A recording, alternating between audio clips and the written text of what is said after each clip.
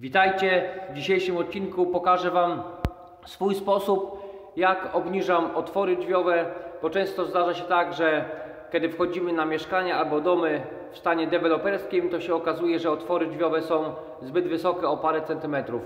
E, Mój sposób jest w miarę prosty i wydaje mi się, że bardzo solidny. Stosujemy go już go parę ładnych lat. Jak wracamy na stare budowy, to patrzę na te otwory i nic nie pęka, nic się z tym nie dzieje. Robimy to tak. Na pierwszym, e, pierwsze co jest bardzo ważne, od, e, od zaczęcia zaczynamy od gruntowania beton kontaktem nadproża. Przeważnie te wszystkie nadproża, które są w tym miejscu, one są betonowe. Pierwsze co robimy, to zawsze e, gruntujemy to beton kontaktem. Staram się to robić około dnia szybciej przed wklejeniem płyt. W drugiej kolejności kleję sobie płyty karton gipsowe. W tym wypadku akurat mam około chyba 4 cm do obniżenia, to wyszły mi dwie płyty i po prostu klej, klej gipsowy, bo te płyty akurat kleję na klej gipsowy, bo bardzo dobrze trzymają do tego bet- beton kontaktu. I co jest teraz bardzo ważne, po przyklejeniu płyt, jak już klej zwiąże, całość, wszystkie szczeliny, wszystkie puste pola uzu- uzupełniam pianą montażową, a robię to dlatego, że żeby całość, powiedzmy cały ten nasz podciąg, jakby tak, żeby go całego wypełnić, żeby był mocny, sztywny, żeby nie był głuchy, wtedy jest też wszystko mocne, stabilne i na pewno też to ma wpływ na dalsze pękanie. Pianę montażową uzupełniamy z tej strony i też przychodzę wtedy na drugie miejsce, żeby wszędzie ładnie uzupełnić i z drugiej strony tak samo uzu uzupełniam. Kiedy to wszystko ładnie wyschnie, mniej więcej wygląda to w ten sposób na tym etapie. Wszystko ładnie pouzupełniane. Jeżeli nam wszystko ładnie wyschnie, wtedy co robimy dalej? Dalej robimy to, że tarujemy, czy wycinamy, czy failem, czy flexem. Ja to robiłem akurat tarką, bo nie miałem tego zbyt dużo. Czasami się zdarza tak, że obniżamy powiedzmy po 4 płyty, wtedy już biorę flexa. Ale tutaj akurat sta- sta- starczyła mi tylko zwykła tarka. I robimy tak.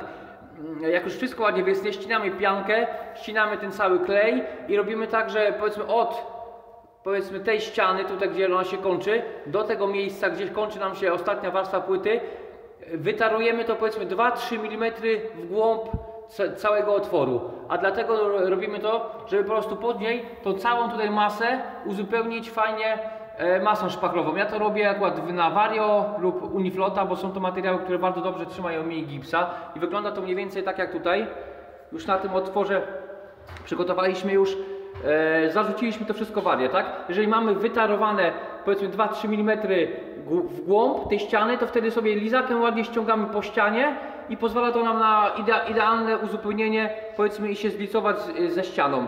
To jest jeszcze tutaj mokre, jeżeli to wszystko ładnie wyschnie, to ten cały taki syf, który zostaje nam od stropianu czy coś, to zawsze go można ładnie sobie ze, zeskrobać. I to zostawiamy tak powiedzmy na, na kolejny dzień. Kiedy wszystko fajnie tutaj ładnie wyschnie, to musimy przejść do etapu, kiedy zbroimy to, tak? Tutaj już jest na przykład przy, przygotowane nadproże, już praktycznie jest finalne, kiedy wkleiliśmy e, fi, fizelinę, papier bądź taśmę amerykańską. Zawsze na te łącza, jak już wszystko ładnie powysyga, robimy łącza, robimy tutaj powiedzmy odtąd dotąd, w tym wypadku wkleiłem fizelinę, dlatego że jest tego mało, było około chyba tam 4 czy 5 cm do obniżenia i wkleiłem jedną fizelinkę, była za mała, to wkleiłem zaraz wyżej drugą fizelinę. I robimy tak, że fizelinę wklejamy powiedzmy parę centymetrów za nadproże, powiedzmy 2-3 cm do góry i tak samo z tej strony, tak samo, żeby to łączenie było fajnie uzupełnione fizeliną. O tutaj trochę lepiej nam nawet widać, jak to wygląda. I to wszystko zostawiamy też do wyschnięcia. Trochę się odsunę może.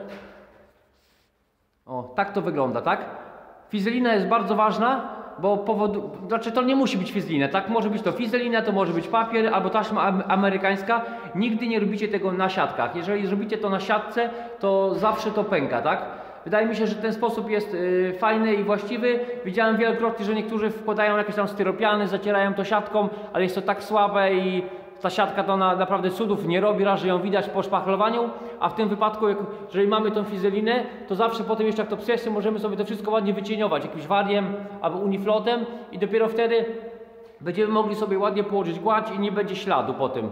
Raz, że nie będzie śladu, dwa, że to naprawdę nie pęka, robimy już tak parę ładnych lat i to nic się z tym nie dzieje, dwa, że to jest bardzo mocne i jeszcze warto powiedzieć, że jeżeli to wszystko ładnie wy- wy- wyschnie, to robię jeszcze coś takiego, że od dołu tutaj powiedzmy w jednym miejscu i w drugim miejscu kupuję takie długie kołki, ósemki przeważnie i powiedzmy jak tutaj jest 5 cm, kupuję to powiedzmy, że miały 8-9 cm i te kołki jeszcze powiedzmy wiercę sobie do tego nadproża i przed jeszcze wkładam taką dużą fajną podkładkę powiedzmy jakoś 3-4 cm, że jeszcze po prostu to całe nadproże sobie od dołu kołkuję przed montażem drzwi. I tak to wygląda. Jeżeli filmik się podobał, zachęcam do subskrypcji, a także do pozostawienia łapki w górę. Dzięki.